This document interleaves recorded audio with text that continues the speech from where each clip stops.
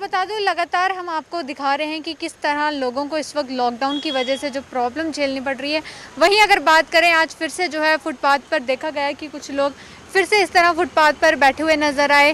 तो क्या दिक्कतें उन्हें आ रही हैं? इस वक्त मैं त्रिकुटा नगर के एरिया में मौजूद हूँ। तो इन्हीं से जानते आप देख सकते हैं, यहाँ पर छोटे छोटे बच्चे भी मौजूद हैं। क्या दिक्कत आ रही है? क्यों इस तरह इधर हो? ना राशन है घर में।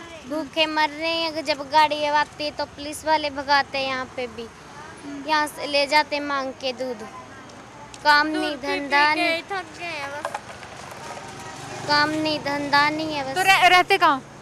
यहीं पे रहते मराठी महल्ले में। तो वहाँ पर कोई नहीं आया राशन देने? ना। तो फिर तब से कैसे गुजारा कर रहे हो? तब से मांग मांग के गुजारा कर रही हैं। तो रोज इस तरह सड़क पर आ जाते हो? हाँ।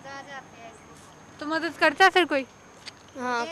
कोई को। दूध दिला के कोई आटा दिला देता। ये धरा ही हिरण। क्या दिक्कत आ रही हो? भूखे मर रहे हैं पैसे नहीं है पैसे से मजबूर हैं। कोई आटा दिला देता कोई चावल दिला देता कोई तेल दिला देता। पर घर तक वहाँ पर कोई नहीं आता था घर पे कोई नहीं आता। एक बार भी सरकार की तरफ़ से भी कोई नहीं आया? कभी आते कभी नहीं आते। पर्ची बना के ले जाते नाम लिख के ले जाते फिर दोबारा आते नहीं।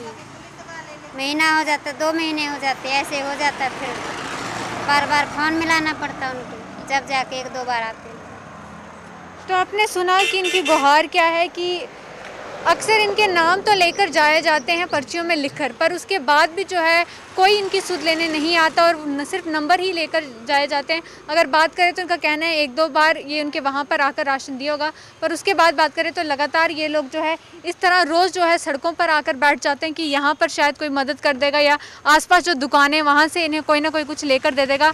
पर बहुत ही यहाँ पर दुख की बात है कि लगातार एडमिनिस्ट्रेशन कहते हुए नज़र आ रही है, पर जिसने कहा कि अगर यहाँ पर हम बैठते हैं कुछ मांगने के लिए तो अगर पुलिस आती है, वो हमें यहाँ से भगा देती है। तो ज़रूरत है यहाँ पर सोचने की तो फिर इनकी मदद कौन करेगा? क्योंकि लगातार इनका यही कहना है कि एडमिनिस्ट्रेशन की तरफ़ से कोई मदद नहीं की जा रही। एक दो बार आए हैं, उसके बाद जो है, कोई भी नहीं आया। पर्चियों पे नाम लिख के लेकर गए हैं, पर उसके बाद वापस पूछने के लिए या कोई भी जो है, फ़ोन करके कोई वापस नहीं पूछ रहा।